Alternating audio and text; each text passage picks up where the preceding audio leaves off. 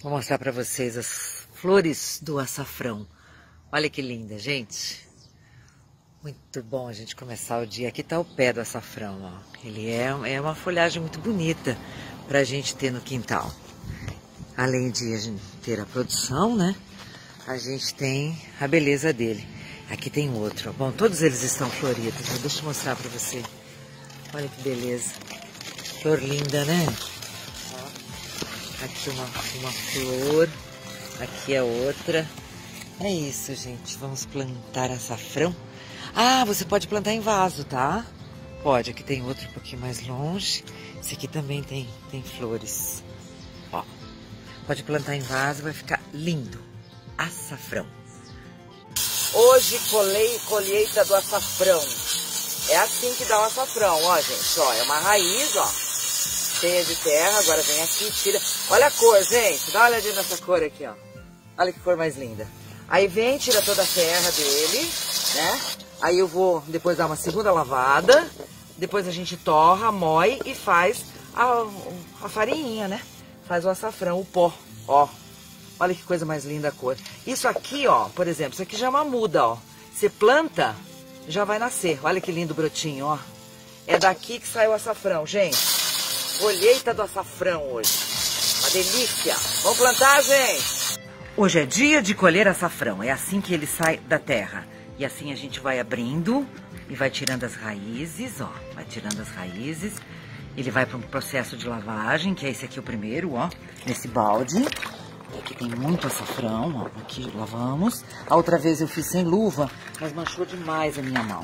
Depois dessa lavagem vem outra, e vem outra, e vem outra. Vem algumas lavagens. Depois eu vou cortar ele.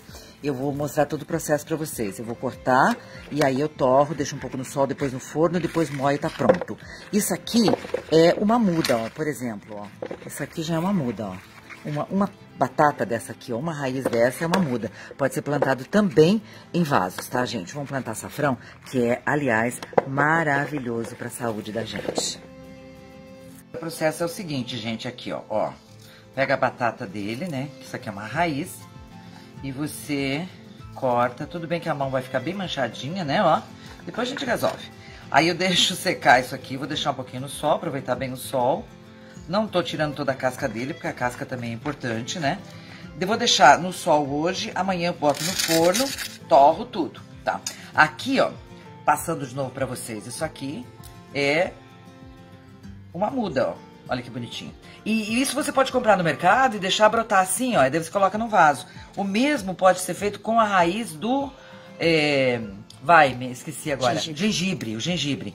Também você pode. Aí eu separei essas mudinhas aqui para mostrar para vocês. Olha que legal. Depois eu vou mostrar para vocês o pozinho de açafrão pronto. É assim, ó, é um processo um pouquinho demorado, mas é tão prazeroso, né? Você produzir o próprio açafrão. Quando eu colhi o meu açafrão, vocês perguntaram se não era gengibre. E eu falei, não, não é gengibre. Ó, gengibre é esse aqui, ó, tá vendo? Isso é gengibre. Ó a cor dele. Tá? Isso aqui eu planto assim. Isso aqui tudo é brotação já, ó. Tá vendo? E aqui nós temos o açafrão. O açafrão é assim, ó. ó tudo isso aqui é mudinha, ó. Aqui, por exemplo, se eu pegar um, uma raiz dessa aqui, ó. Ó a brotação vindo já. Eu planto isso aqui já brota. Não faça isso em um vaso só, os dois num vaso único, não. Um em cada vaso também dá. E se você tiver um canteiro, coloque no canteiro. Mas não vamos deixar de plantar gengibre e açafrão.